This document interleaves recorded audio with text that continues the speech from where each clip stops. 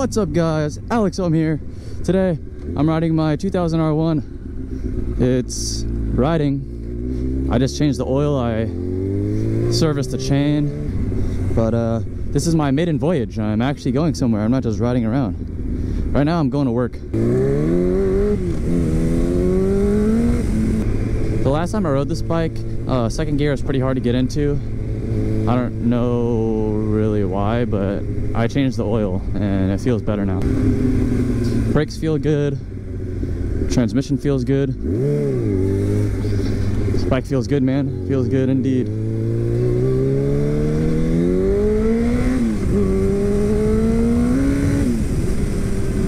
Woo! Yeah, let's go.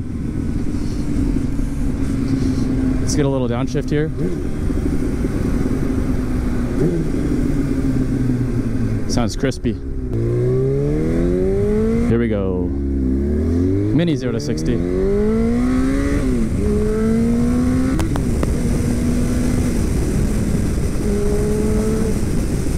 Let's go! This bike hauls. Oh my gosh, it's so fast. Woohoo! It's so nimble too. I feel like I can just flick it around. And this bike, it's nice, man. Our temps at 183, so nice and cool. It gets to like 200 when sitting. 220, I think. Kind of scary. I don't think it should get that hot. But I'm gonna put it in sixth gear, rev it up. Yeah, another clutch is good. Yeah, just so you guys know, a quick test you can do when you're testing a clutch you've never driven before, see if it's slipping or not. You put it in the highest gear, rev it up, drop the clutch.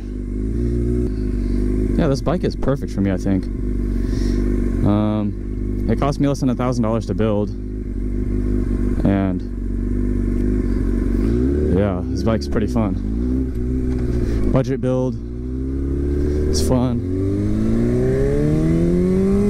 it's fast, sounds good, looks good. I mean, I want to paint the tank, uh, this front piece, and the tail section white, but other than that, uh, I'm gonna leave the bottom, or the frame is gonna stay the bare aluminum. The bottom half of the bike is gonna be black. It's like the wheels are black, the fender's black. I got another fender.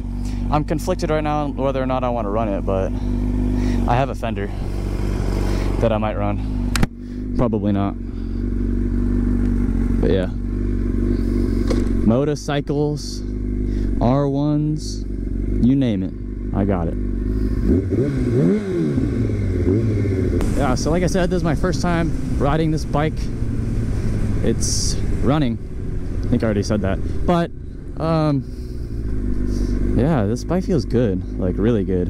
I also don't know how long it is to take my bike to work. I know in a car it takes about 15 minutes, but yeah. I know when I ride a bike, it's uh, a little bit faster. I can normally shave off a few minutes here and there. And this road just sucks. It's all bumpy. And, and now that I'm up to speed, the bike is running at 180. So I think that's good. I think my car runs around there too. I have a 1990 Mazda Miata. It was boosted before I pulled the motor. And uh, I'm currently shaving the bay and tubbing the fenders so I can go more low. This bike feels solid.